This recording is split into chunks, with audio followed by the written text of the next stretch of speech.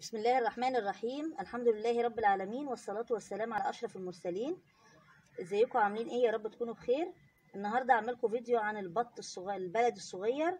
آه عايزه أقول لكم يا جماعة إن البط البلدي بيحتاج عناية يعني شديدة منك وهو صغير لسه طالع من البيضة لأن مناعته تبقى ضعيفة جدا مش زي الكتاكيت.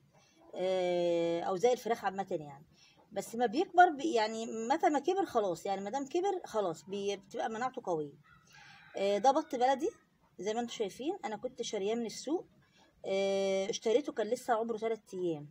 فطبعا آه، كانت غلطة مني المفروض اللي يشتري بط يا جماعة دي كمعلومة ليكم يشتريه معدي الأسبوع عشان تبقى مناعته جمدت شوية. فده كان عمره 3 أيام جبته هنا طبعا تعب مني ودول كانوا 12 بطة مات نصهم تقريبا. طبعا مع الحر الشديد وكده فعايزة أقول لكم أنا عالجتهم بإيه. طبعا العلف اللي أنتم شايفينه قدامكم ده ده علف خشن لأنهم كبروا ده عمرهم شهر. كان المفروض يبقوا أكبر من كده بس عشان هم تعبوا كده فنموهم اتأخر شوية.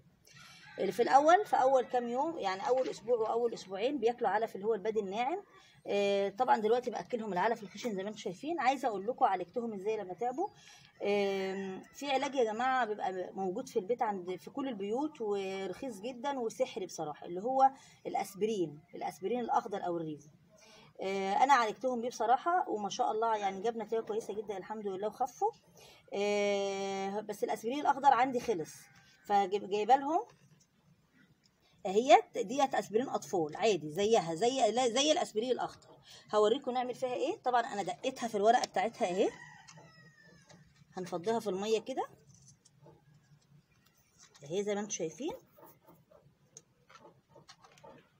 وهنغطي السقاية.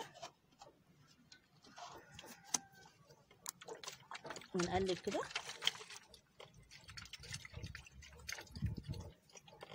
وهحطها لهم. اهي على حاجة عالية كده. طبعا زي ما أنتم شايفين الأرض مفروشه تبن آه، طبعا عشان التبن ما يجيش في المية بتحطيها على حاجة عالية. اهو. آه، زي ما أنتم شايفين ان البط ده اللي هو البلدي وفي بلاد يعني في ناس بيقولوا عليه أو محافظات بيقولوا عليه البط السوداني. آه، في بطتين كانوا طالعين لي. أنا كانت البطة مطلعاهم هناك هم مختلفين شكلهم مختلف شوية لأن أبوهم كان مسكوفي. فهجين دول بطتين هجين. إنما الباقي ده بط بلدي صافي. ده عمره شهر. هو كان المفروض يبقى أكبر من كده.